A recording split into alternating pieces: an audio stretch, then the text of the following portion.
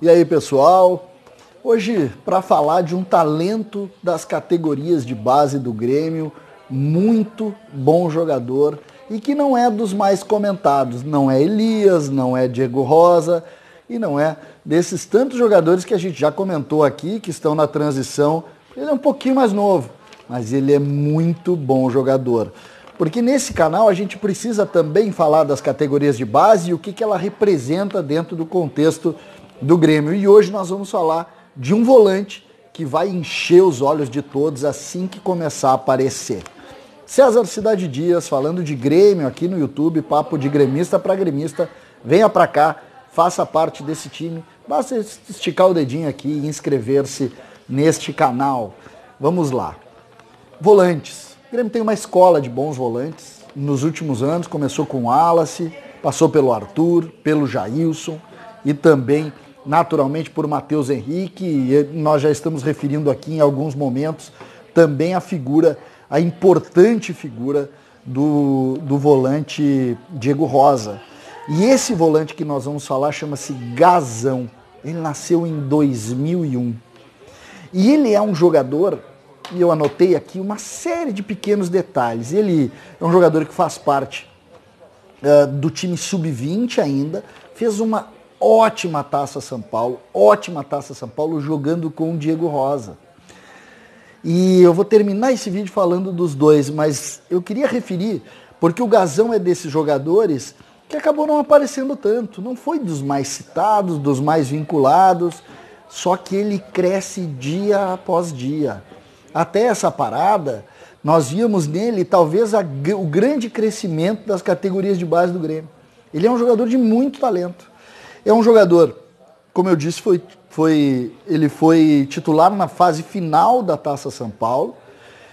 Ele é um jogador que hoje faz parte do time sub-20, mas deve já compor o time sub-23 agora, porque o crescimento dele é muito forte, todos estão vendo isso e ele está pedindo passagem.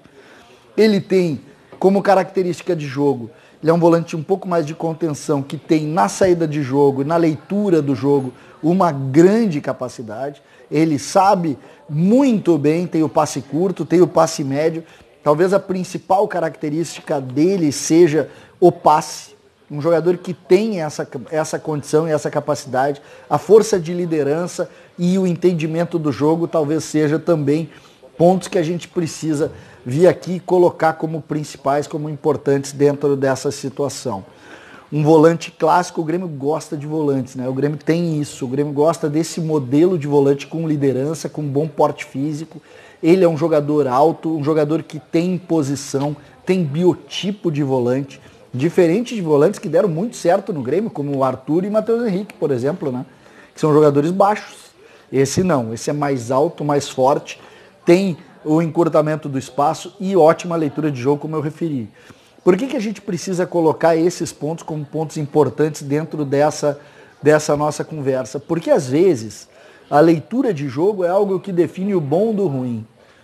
Nós já vimos volantes que não são tão bons com leitura de jogo, com entendimento tático, crescendo e virando grandes jogadores. Esse tem essa característica, mas tem essa característica seguida da sua característica técnica. Porque ele faz a leitura de jogo, talvez seja uma, um dos pontos principais que nós já falamos, só que ele tem na parte técnica, na sua capacidade de entendimento do jogo, uma grande condição. Uma grande condição. O passe é um jogador que tem nas estatísticas um número baixíssimo de passes errados. Baixíssimo de passes errados. A capacidade de entendimento do jogo, de colocação junto aos zagueiros, de capacidade de saída com a bola no pé.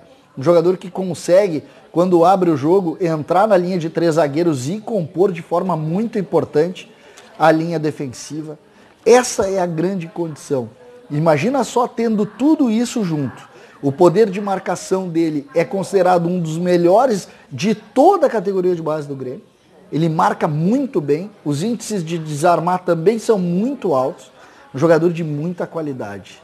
E a gente precisa vir aqui referir. Lembrando, esse canal vai falar sempre também em categoria de base, porque é importante a gente discutir isso.